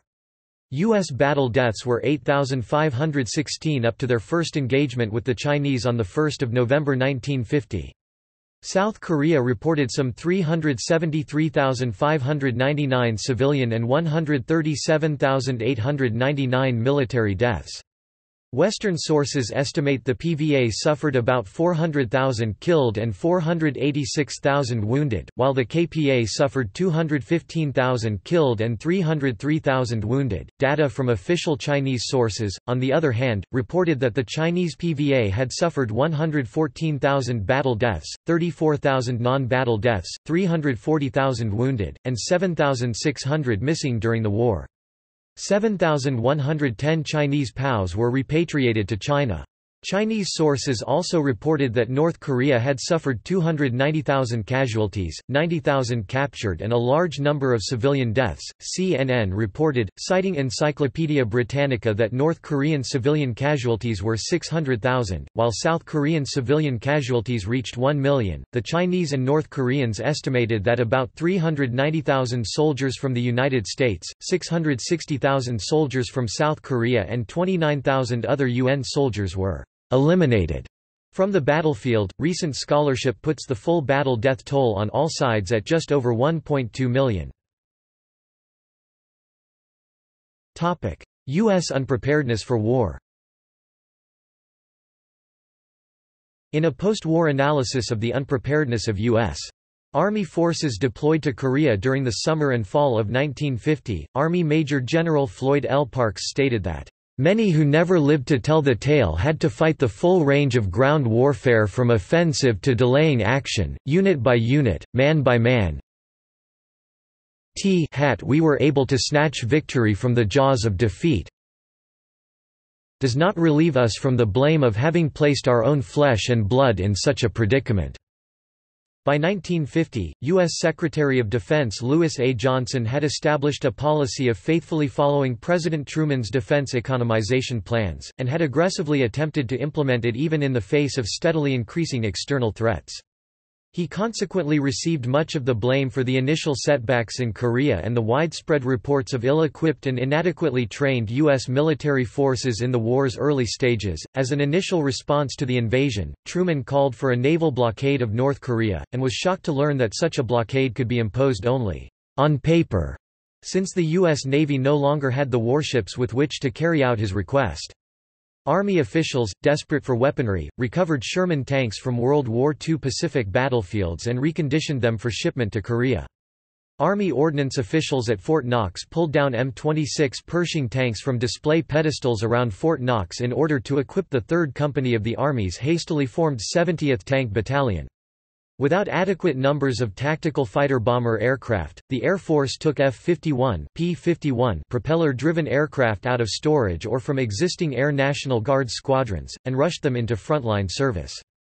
A shortage of spare parts and qualified maintenance personnel resulted in improvised repairs and overhauls. A Navy helicopter pilot aboard an active-duty warship recalled fixing damaged rotor blades with masking tape in the absence of spares. Army Reserve and Army National Guard infantry soldiers and new inductees called to duty to fill out understrength infantry divisions found themselves short of nearly everything needed to repel the North Korean forces: artillery, ammunition, heavy tanks, ground support aircraft, even effective anti-tank weapons such as the M23.5-inch (89 mm) Super Bazooka. Some Army combat units sent to Korea were supplied with worn-out, red-lined M1 rifles or carbines in immediate need of ordnance depot overhaul or repair. Only the Marine Corps, whose commanders had stored and maintained their World War II surplus inventories of equipment and weapons, proved ready for deployment, though they still were woefully under strength, as well as in need of suitable landing craft to practice amphibious operations Secretary of Defense Louis Johnson had transferred most of the remaining craft to the Navy and reserved them for use in training Army units. Due to public criticism of his handling of the Korean War, Truman decided to ask for Johnson's resignation. On 19 September 1950, Johnson resigned as Secretary of Defense, and the President quickly replaced him with General of the Army George C. Marshall. Armored warfare The initial assault by North Korean KPA forces was aided by the use of Soviet T-34-85 tanks. A North Korean tank corps equipped with about 120 T-34s spearheaded the invasion. These drove against a ROK army with few anti-tank weapons adequate to deal with the Soviet T-34s. Additional Soviet armor was added as the offensive progressed. The North Korean tanks had a good deal of early successes against South Korean infantry, elements of the 24th Infantry Division, and the United States built M24 Chaffee light tanks that they encountered. Interdiction by ground attack aircraft was the only means of slowing the advancing Korean armor. The tide turned in favor of the United Nations forces in August 1950 when the North Koreans suffered major tank losses during a series of battles in which the UN forces brought heavier equipment to bear, including M4A3 Sherman medium tanks backed by US M26 heavy tanks, and the British Centurion, Churchill, and Cromwell tanks. The US landings at Incheon on 15 September cut off the North Korean supply lines, causing their armored forces and infantry to run out of fuel, ammunition, and other supplies. As a result, the North Koreans had to retreat, and many of the T-34s and heavy weapons had to be abandoned. By the time the North Koreans withdrew from the south, a total of 239 T-34s and 74 Su-76s were lost. After November 1950, North Korean armor was rarely encountered. Following the initial assault by the North, the Korean War saw limited use of tanks and featured no large-scale tank battles. The mountainous, forested terrain, especially in the eastern central zone, was poor tank country, limiting their mobility. Through the last two years of the war in Korea, UN tanks served largely as infantry support and mobile artillery pieces. Naval warfare Because neither Korea had a significant navy, the Korean War featured few naval battles. A skirmish between North Korea and the UN command occurred on 2 July 1950. The U.S. Navy cruiser USS Juno, the Royal Navy cruiser HMS Jamaica, and the Royal Navy frigate HMS Black Swan fought four North Korean torpedo boats and two mortar gunboats, and sank them. USS Juno later sank several ammunition ships that had been present. The last sea battle of the Korean War occurred at Incheon. Days before the Battle of Incheon, the ROK ship PC-703 sank a North Korean mine layer in the Battle of Haeju Island, near Incheon. Three other supply ships were sunk by PC-703 two days later in the Yellow Sea. Thereafter, vessels from the UN nations held undisputed control of the sea about Korea. The gun ships were used in shore bombardment, while the aircraft carriers provided air support to the ground forces.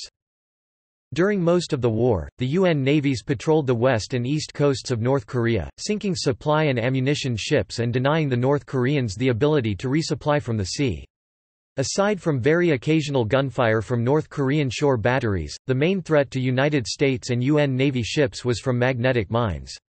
During the war, five U.S. Navy ships were lost to mines, two minesweepers, two minesweeper escorts, and one ocean tug. Mines and gunfire from North Korean coastal artillery damaged another 87 U.S. warships, resulting in slight to moderate damage. Aerial warfare The Korean War was the first war in which jet aircraft played the central role in air combat. Once formidable fighters such as the P-51 Mustang, F-4U Corsair, and Hawker Sea Fury, all piston-engined, propeller-driven, and designed during World War II, relinquished their air superiority roles to a new generation of faster, jet-powered fighters arriving in the theater.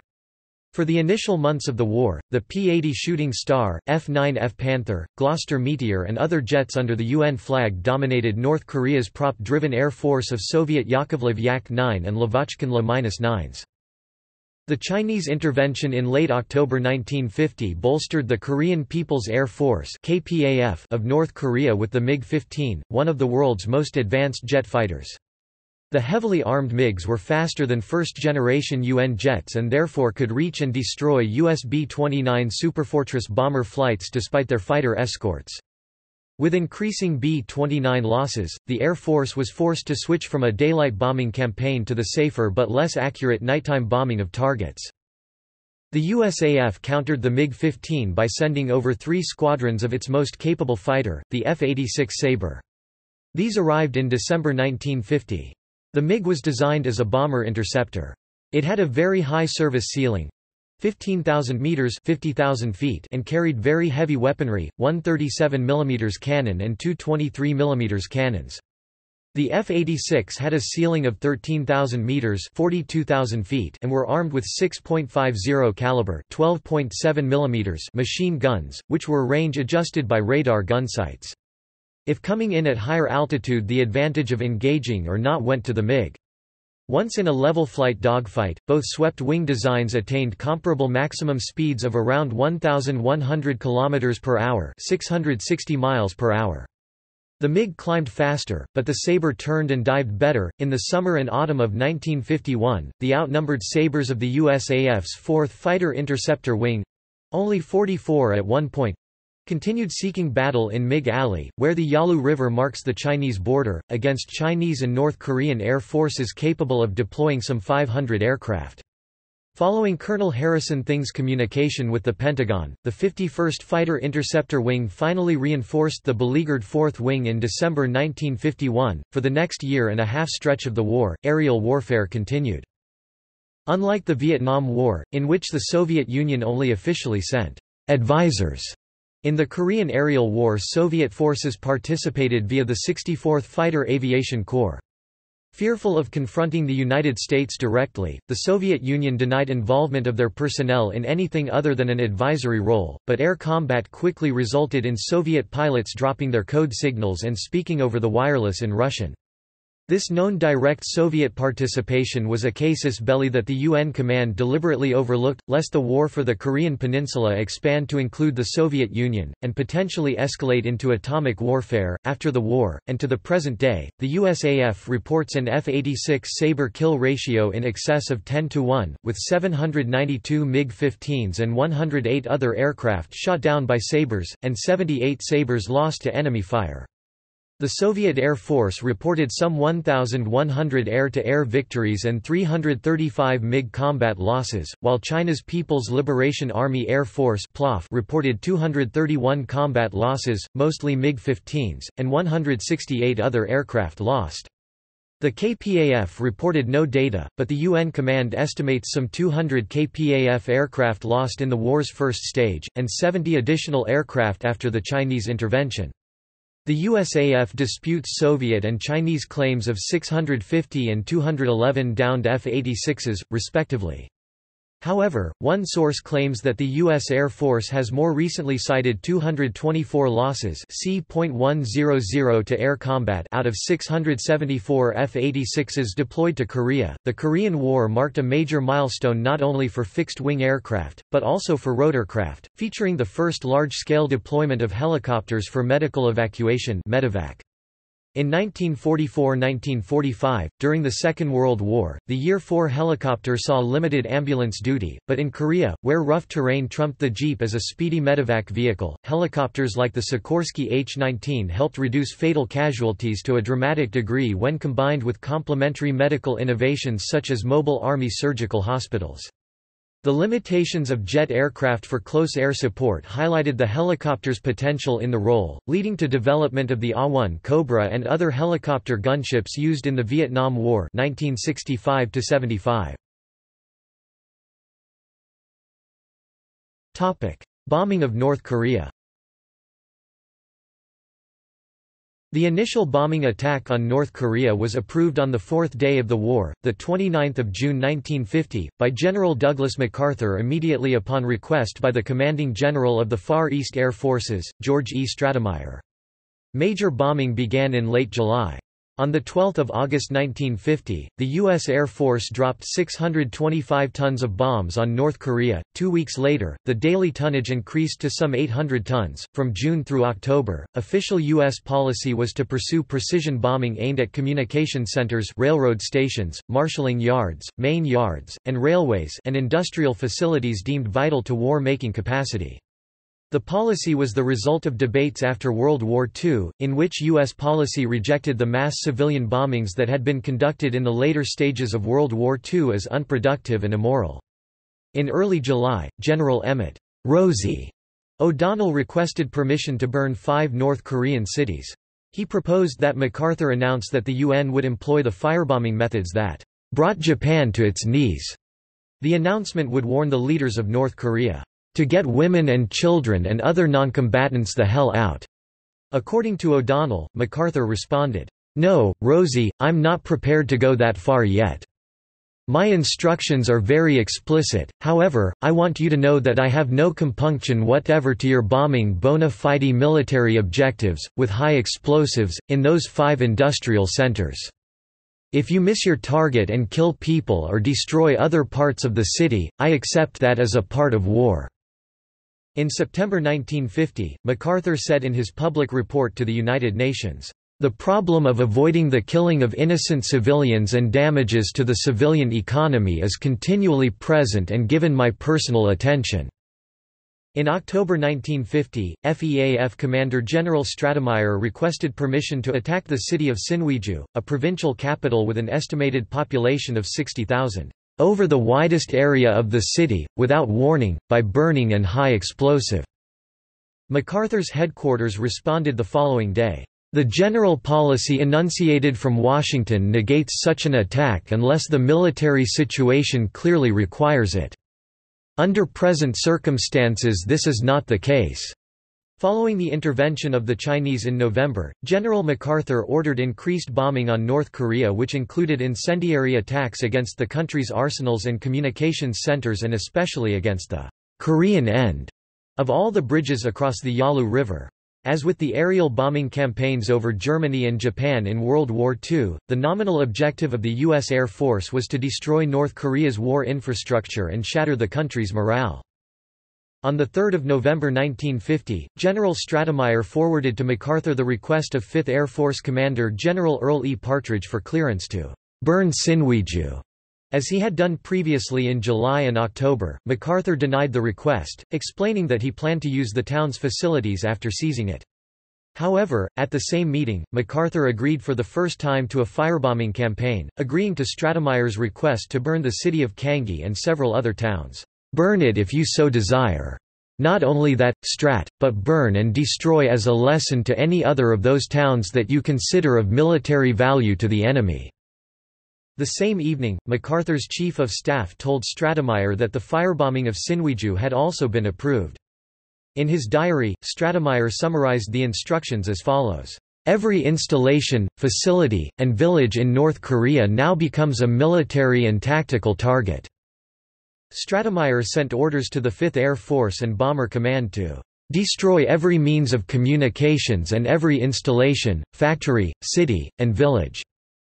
On 5 November 1950, General Stratemeyer gave the following order to the commanding general of the 5th Air Force.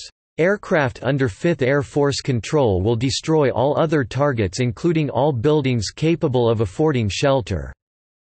The same day, 22 B-29s attacked Kanggye, destroying 75% of the city. After MacArthur was removed as Supreme Commander in Korea in April 1951, his successors continued this policy and ultimately extended it to all of North Korea.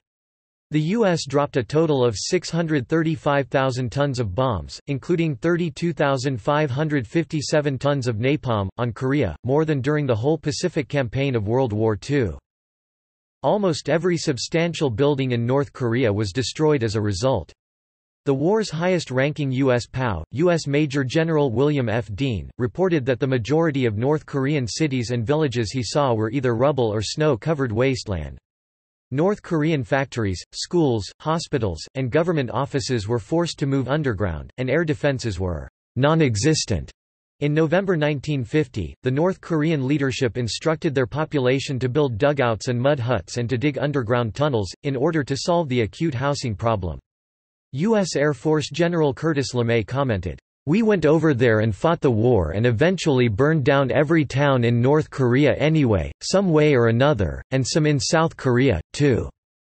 Pyongyang, which saw 75% of its area destroyed, was so devastated that bombing was halted as there were no longer any worthy targets.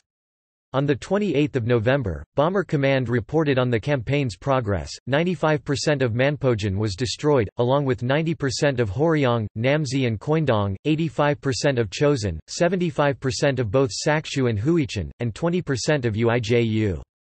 According to USAF damage assessments, 18 of 22 major cities in North Korea had been at least half obliterated. By the end of the campaign, U.S. bombers had difficulty in finding targets and were reduced to bombing footbridges or jettisoning their bombs into the sea, as well as conventional bombing. The Communist side claimed that the U.S. used biological weapons. These claims have been disputed. Conrad Crane asserts that while the U.S. worked towards developing chemical and biological weapons, the U.S. military possessed neither the ability, nor the will to use them in combat. U.S. threat of atomic warfare On 5 November 1950, the Joint Chiefs of Staff JCS issued orders for the retaliatory atomic bombing of Manchurian PRC military bases, if either their armies crossed into Korea or if PRC or KPA bombers attacked Korea from there. The President ordered the transfer of nine Mark IV nuclear bombs to the Air Force's 9th Bomb Group, the designated carrier of the weapons, and signed an order to use them against Chinese and Korean targets which he never transmitted. Many U.S. officials viewed the deployment of nuclear-capable but not nuclear-armed B-29 bombers to Britain as helping to resolve the Berlin blockade of 1948–1949. Truman and Eisenhower both had military experience and viewed nuclear weapons as potentially usable components of their military. During Truman's first meeting to discuss the war on 25 June 1950, he ordered plans be prepared for attacking Soviet forces if they entered the war. By July, Truman approved another B-29 deployment to Britain, this time with bombs but without their cores, to remind the Soviets of U.S. offensive ability. Deployment of a similar fleet to Guam was leaked to The New York Times. As United Nations forces retreated to Pusan, and the CIA reported that mainland China was building up forces for a possible invasion of Taiwan, the Pentagon believed that Congress and the public would demand using nuclear weapons if the situation in Korea required them. As Chinese forces pushed back the United States forces from the Yalu River, Truman stated during a 30 November 1950 press conference that using nuclear weapons was always under active consideration, with control under the local military commander. The Indian ambassador, K. Madhava Panikkar, reports that Truman announced he was thinking of using the atom bomb in Korea. But the Chinese seemed unmoved by this threat. The PRC's propaganda against the U.S. was stepped up. The Aid Korea to Resist America campaign was made the slogan for increased production, greater national integration, and more rigid control over anti-national activities. One could not help feeling that Truman's threat came in useful to the leaders of the revolution, to enable them to keep up the tempo of their activities. After his statement caused concern in Europe, Truman met on 4 December 1950 with UK Prime Minister and Commonwealth spokesman Clement Attlee, French Premier René Pleven, and French Foreign Minister Robert Schuman to discuss their worries about atomic warfare and its likely continental expansion.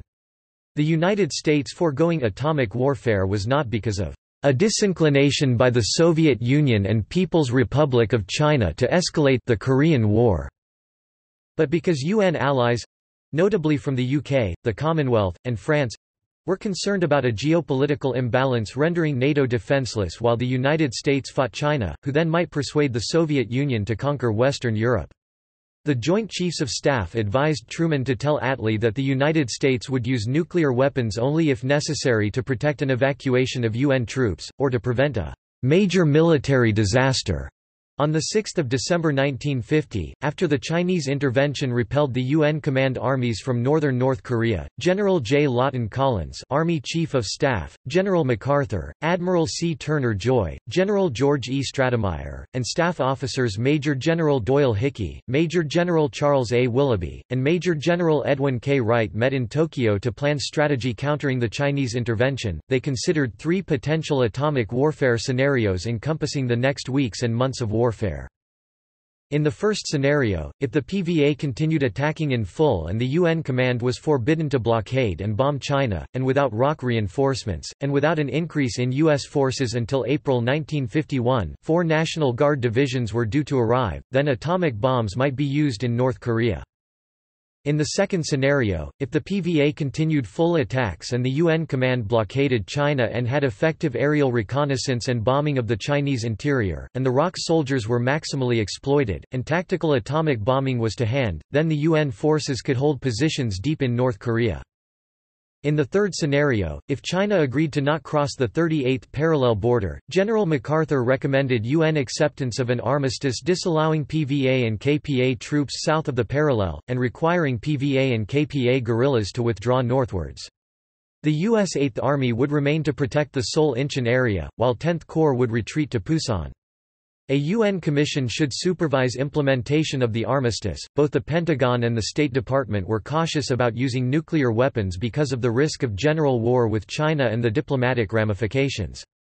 Truman and his senior advisers agreed, and never seriously considered using them in early December 1950 despite the poor military situation in Korea. In 1951, the U.S. escalated closest to atomic warfare in Korea. Because China deployed new armies to the Sino-Korean frontier, pit crews at the Kadena Air Base, Okinawa, assembled atomic bombs for Korean warfare, lacking only the essential pit nuclear cores. In October 1951, the United States effected Operation Hudson Harbor to establish a nuclear weapons capability. USAF B-29 bombers practiced individual bombing runs from Okinawa to North Korea using dummy nuclear or conventional bombs, coordinated from Yokota Air Base in east-central Japan. Hudson Harbor tested actual functioning of all activities which would be involved in an atomic strike, including weapons assembly and testing, leading, and ground control of bomb aiming. The bombing run data indicated that atomic bombs would be tactically ineffective against massed infantry, because the timely identification of large masses of enemy troops was extremely rare. General Matthew Ridgway was authorized to use nuclear weapons if a major air attack originated from outside Korea. An envoy was sent to Hong Kong to deliver a warning to China.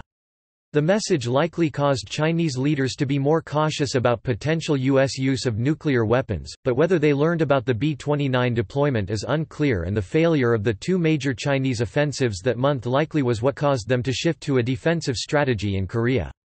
The B-29s returned to the United States in June. Despite the greater destructive power deploying atomic weapons would bring to the war, their effects on determining the war's outcome would have likely been minimal.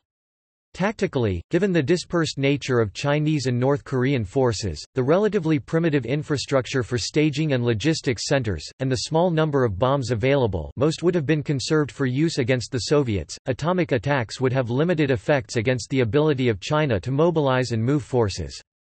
Strategically, attacking Chinese cities to destroy civilian industry and infrastructure would cause the immediate dispersion of the leadership away from such areas and give propaganda value for the Communists to galvanize the support of Chinese civilians.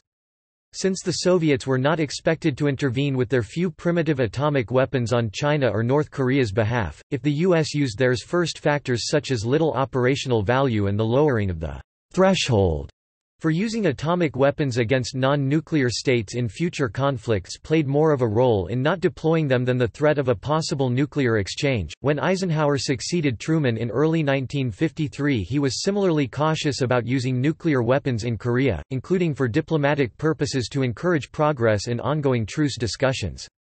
The administration prepared contingency plans to use them against China, but like Truman, the new president feared doing so would result in Soviet attacks on Japan. The war ended as it began, without U.S. nuclear weapons deployed near battle. War crimes Civilian deaths and massacres There were numerous atrocities and massacres of civilians throughout the Korean War committed by both the North and South Koreans. Many started on the first days of the war. South Korean President Syngman Rhee ordered the Bodo League massacre on 28 June, beginning killings of more than 100,000 suspected leftist sympathizers and their families by South Korean officials and right-wing groups. During the massacre, the British protested to their allies and saved some citizens. In occupied areas, North Korean army political officers purged South Korean society of its intelligentsia by executing every educated person whether it be academically, governmentally, religiously, who might lead resistance against the North. The purges continued during the NPA retreat. When the North Koreans retreated north in September 1950, they abducted tens of thousands of South Korean men. The reasons are not clear, but the intention might have been to acquire skilled professionals to the north. In addition to conventional military operations, North Korean soldiers fought the UN forces by infiltrating guerrillas among refugees. These soldiers disguised as refugees would approach UN forces asking for food and help, then open fire and attack. U.S. troops acted under a shoot first ask questions later policy against any civilian refugee approaching U.S. battlefield positions, a policy that led U.S. soldiers to kill an estimated 400 civilians at No Gun Ri 26–29 July 1950 in Central Korea because they believed some of the refugees to be North Korean soldiers in disguise. The South Korean Truth and Reconciliation Commission defended this policy as a military necessity. Beginning in 2005, the South Korean Truth and Reconciliation Commission has investigated numerous atrocities committed by the Japanese colonial government, North Korean military, U.S. military, and the authoritarian South Korean government. It has investigated atrocities before, during and after the Korean War. The commission verified over 14,000 civilians were killed in the Jeju Uprising 1948-49 that involved South Korean military and paramilitary units against pro-North Korean guerrillas on the island of Jeju southwest of tip of the peninsula. Although most of the fighting subsided by 1949, it continued until 1950. The commission estimates 86% of the civilians were killed by South Korean forces. The Americans on the island documented the events, but never intervened. Topic. Prisoners of war Topic. Chinese POWs At Geoje prison camp on Geoje Island, Chinese POWs experienced anti-communist lecturing and missionary work from secret agents from the U.S. and Taiwan in No. 71, 72 and 86 camps. Pro-communist POWs experienced torture, cutting off of limbs, or were executed in public. Being forced to write confession letters and receiving tattoos of an anti-communism slogan and flag of the Republic of China were also commonly seen, in case any wanted to go back to mainland China. Pro-communist POWs who could not endure the torture formed an underground group to fight the pro-nationalist POWs secretly by assassination which led to the Geoje uprising. The rebellion captured Francis Dodd, and was cracked down by the 187th Infantry Regiment. In the end, 14,235 Chinese POWs went to nationalist China Taiwan and less than 6,000 POWs went back to mainland China. Those who went to Taiwan are called righteous men and experienced brainwashing again and were sent to the army or were arrested, while the survivors who went back to mainland China were welcomed as a hero First, but experienced anti-brainwashing, strict interrogation, and house arrest eventually, after the tattoos were discovered.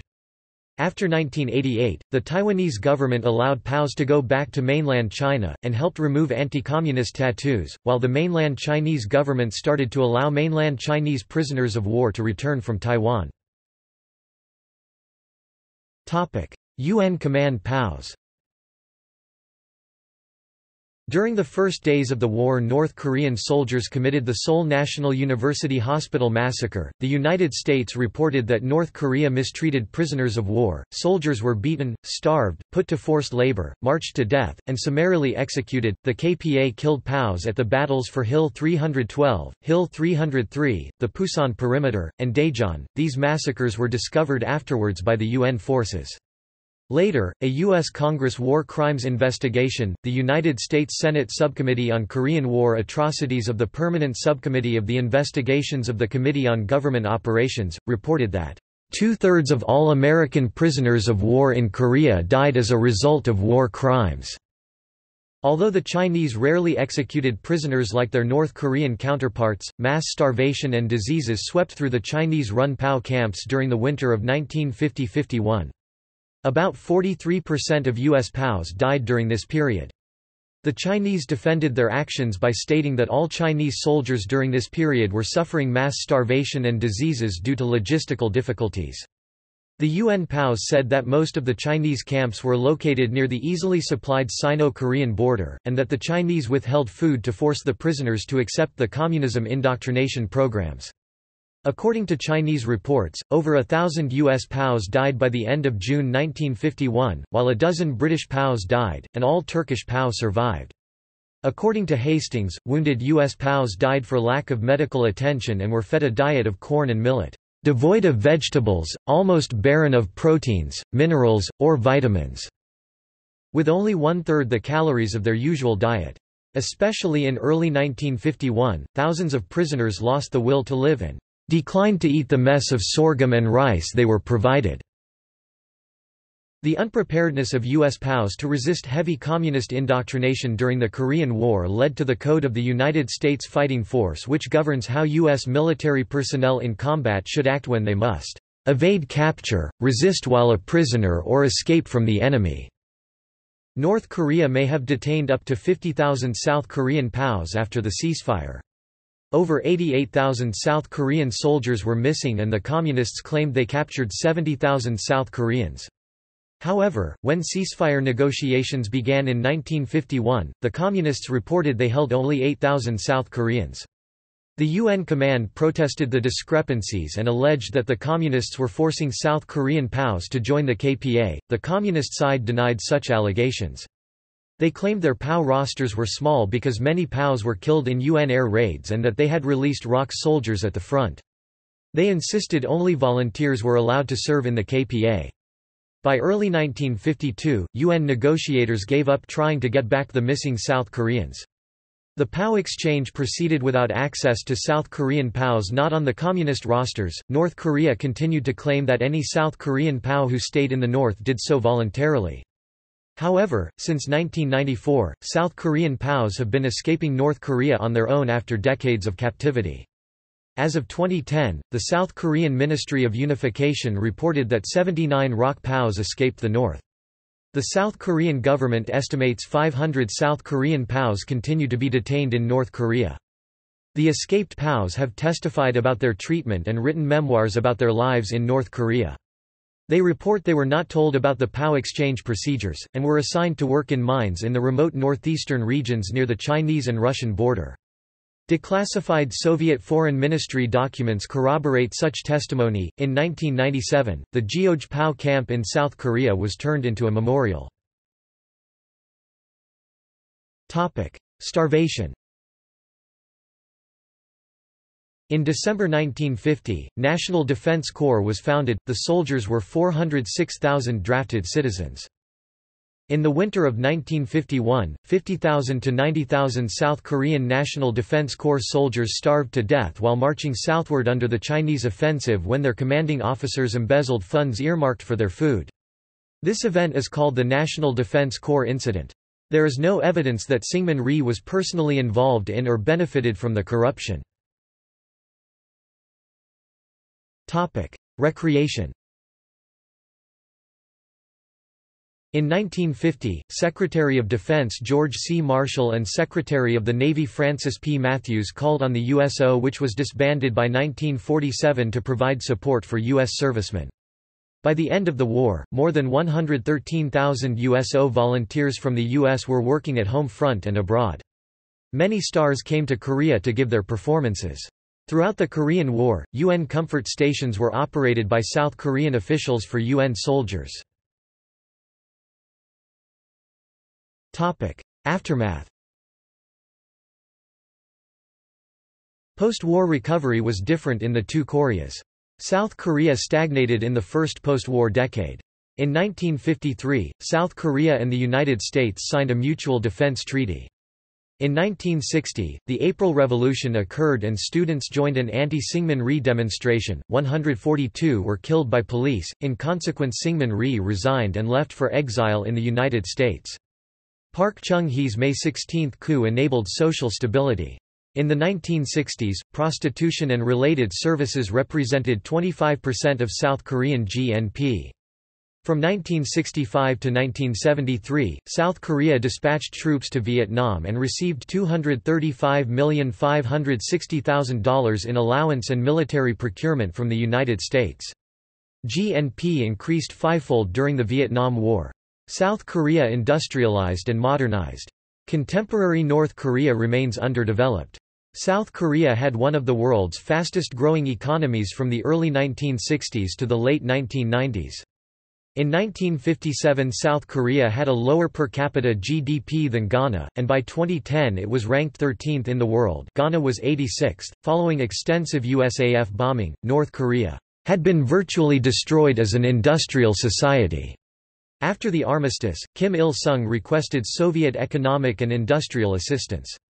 In September 1953, the Soviet government agreed to cancel or postpone repayment for all outstanding debts and promised to grant North Korea 1 billion rubles in monetary aid, industrial equipment and consumer goods.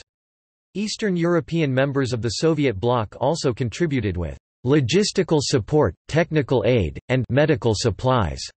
China cancelled North Korea's war debts, provided 800 million yuan, promised trade cooperation, and sent in thousands of troops to rebuild damaged infrastructure. Post-war, about 100,000 North Koreans were executed in purges. According to Rummel, forced labor and concentration camps were responsible for over 1 million deaths in North Korea from 1945 to 1987, others have estimated 400,000 deaths in concentration camps alone.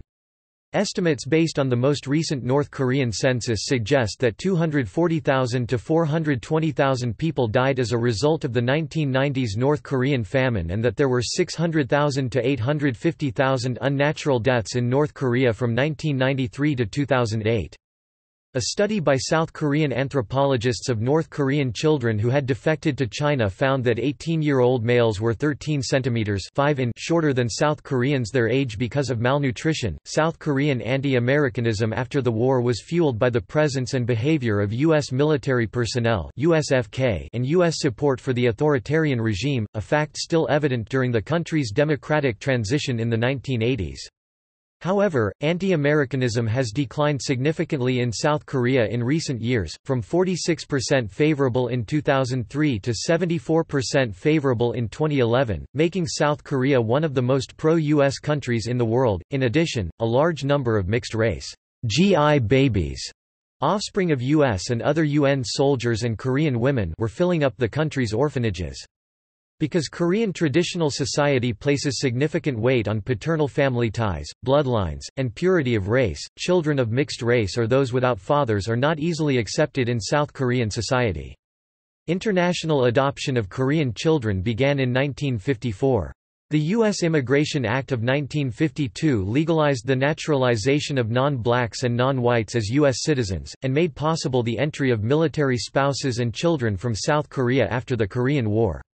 With the passage of the Immigration Act of 1965, which substantially changed U.S. immigration policy toward non-Europeans, Koreans became one of the fastest-growing Asian groups in the United States. Mao Zedong's decision to take on the United States in the Korean War was a direct attempt to confront what the Communist bloc viewed as the strongest anti-communist power in the world, undertaken at a time when the Chinese Communist regime was still consolidating its own power after winning the Chinese Civil War.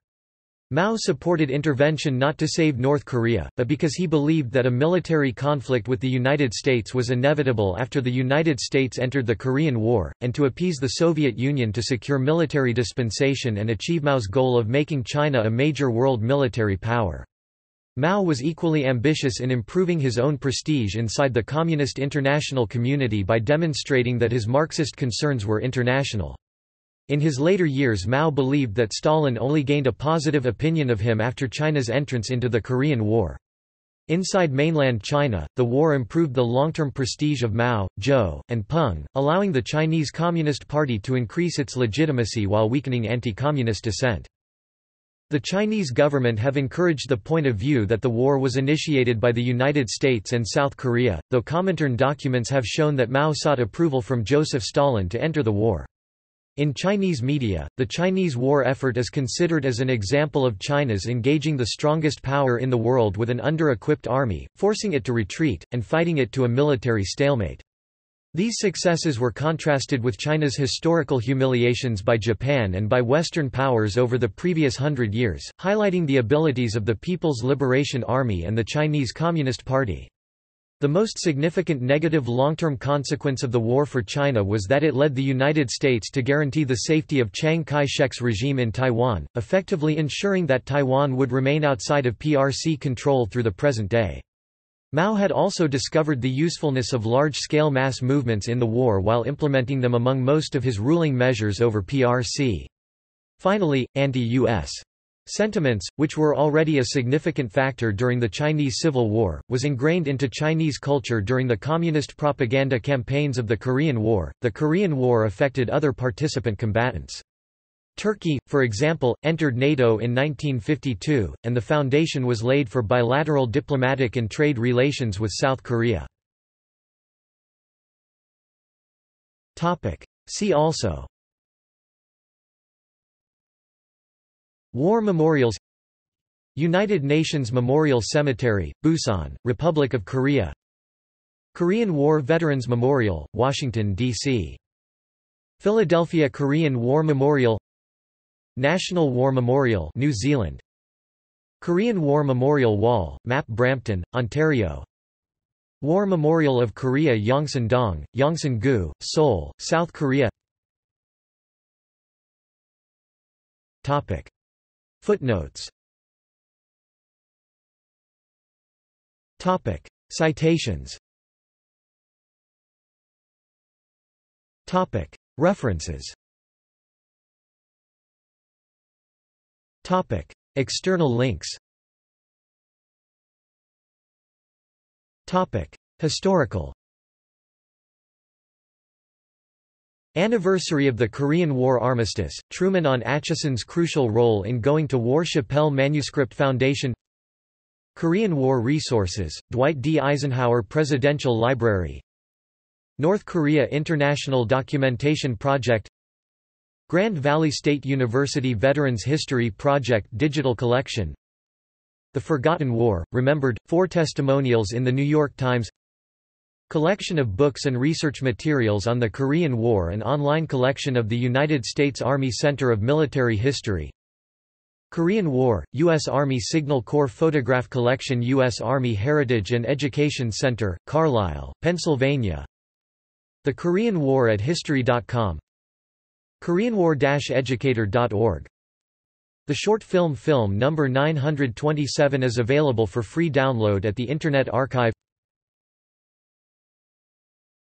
Topic. Media.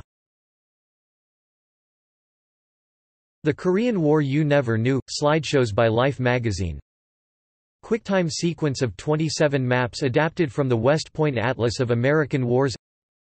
Animation for operations in 1950 Animation for operations in 1951 U.S. Army Korea Media Center Official Korean War Online Image Archive Rare pictures of the Korean War from the U.S. Library of Congress and National Archives. Land of the Morning Calm Canadians in Korea, multimedia project including veteran interviews. Pathé Online Newsreel Archive featuring films on the war. CBC Digital Archives, Forgotten Heroes, Canada and the Korean War. Topic. Organizations Korea Defense Veterans of America. Korean War Ex-POW Association. Korean War Veterans Association. The Center for the Study of the Korean War. Topic. Memorials. Korean Children's War Memorial. Chinese 50th Anniversary Korean War Memorial